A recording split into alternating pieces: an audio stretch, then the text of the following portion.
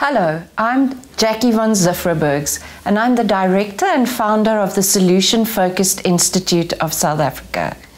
Currently, I'm interviewing prominent solution focused therapists across the world to find out their ideas about solution focused therapy. Today, I'm really excited. I have Matthew Selekman on the line. Matthew is a family therapist in Chicago, Illinois. He specializes in working with children, teenagers, and their families. Matthew has written numerous books, some of which are Solution Focused Therapy with Children, Pathways to Change, and Changing Self Destructive Behavior. Matthew is currently writing a book on working with high risk adolescents. He also travels the world, and even though it's only June, he's been to Turkey, Belgium, South Korea, and the UK. So, Matthew, welcome. And thank you so much for joining me, seeing that you have such a busy, busy schedule. Well, it's a great pleasure to talk with you, and I look forward to my visit to South Africa next year. Yes, we're very excited about having you. So, Matthew, tell us a bit about how you started using solution focused therapy and how you started integrating it into your work. Well, I came into solution focused therapy back in 1985. I worked with Michele Weiner-Davis, who right. was Steve de Shazer's number one prodigy. And she and I ran a youth service clinic. And we were one of a few in the whole world of programs that uh, used a solution focused brief therapy model as the house model. Right. And I was running an adolescent substance abuse program. And it was really beautiful for me to see coming in as a family therapist, having had training in structural strategic family therapy, how effective solution focus was with very difficult adolescent cases with long treatment histories of drug abuse. Uh, maybe the parents had alcohol problems, and we were able to get some fairly quickly some great results. And so it was a very good fit for me because my personality is one of being a pathological optimist, and yeah. I'm a very enthusiastic guy. So the model was just a perfect fit for me. Matthew, um, you're talking about working with adolescents. You seem to really resonate with adolescents. And in your book, Pathways to Change, you, you say when one works with an adolescent, you need to improvise. You need to be able to use humor, um, be playful, and be full of surprises. Can you tell us a bit about working with adolescents, especially with difficult adolescents? Well, I really believe that our work with adolescents has to be upbeat, playful, and fun.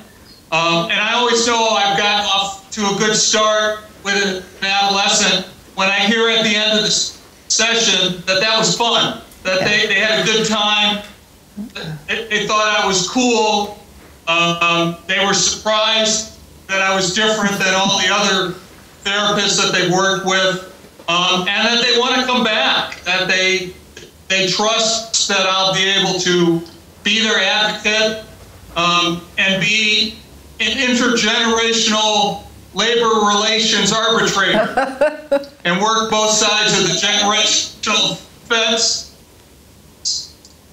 and you know champion their cause with their parents uh, get the privileges they want and change the annoying behaviors of the parents that have been driving them crazy um, I must be honest, your solution focused play therapy book is the very first solution focused book I ever read. And I was just completely blown away by the creativity in your book. Um, you, you, you introduce so many creative exercises and techniques with adolescents and with young children.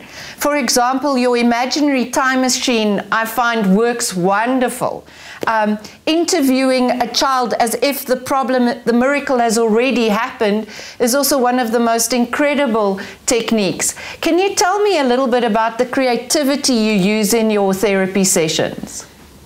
Well, it's all part of the, the fun and the play. And kids like to do things. They express themselves best through action and their inventiveness. Um, so, in, in another example of a playful intervention that you can use with children and adolescents uh, is invisible family inventions.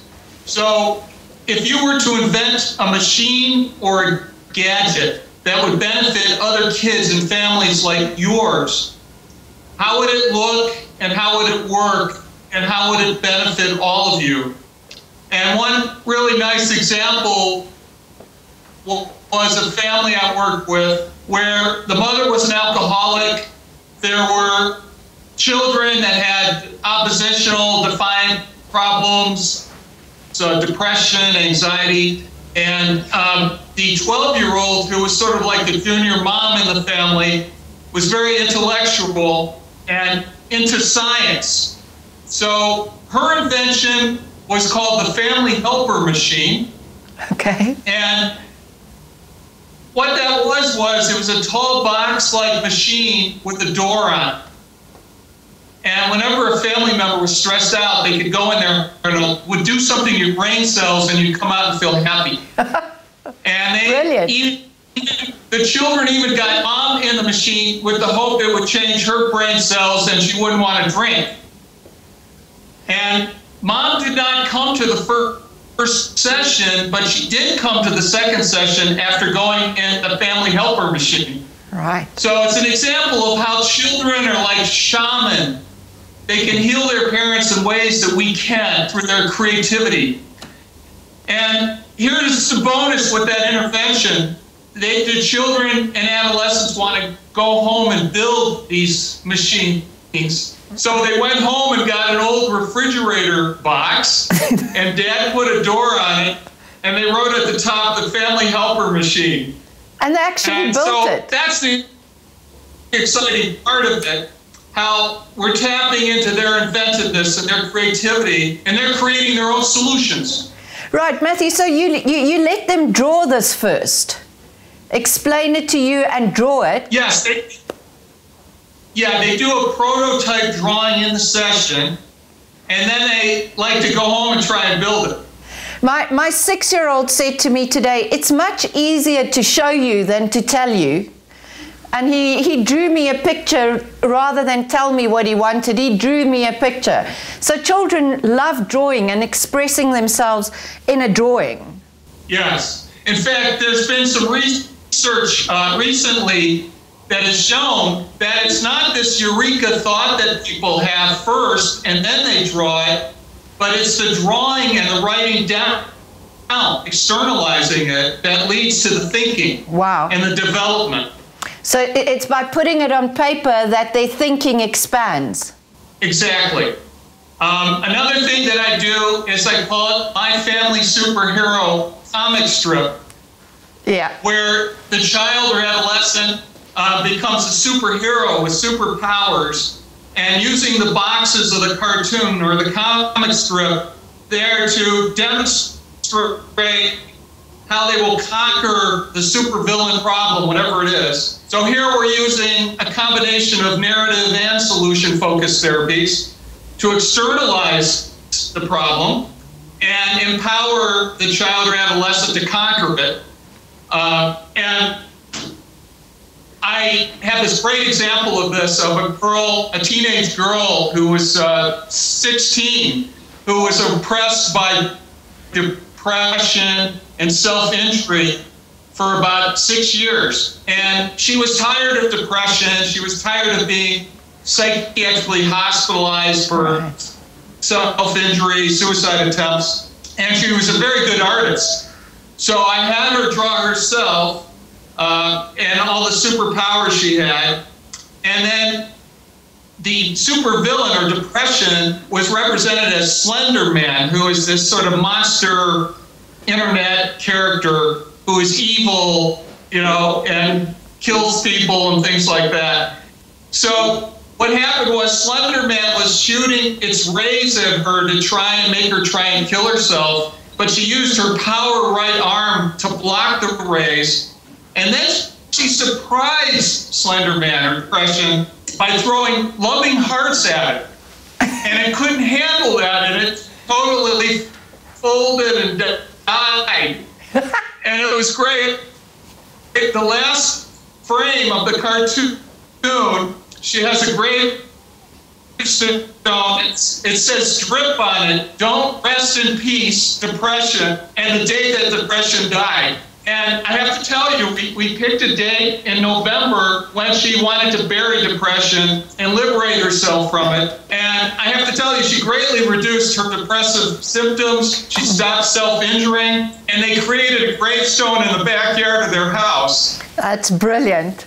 Matthew- so that they can look at that now, now depression in the ground.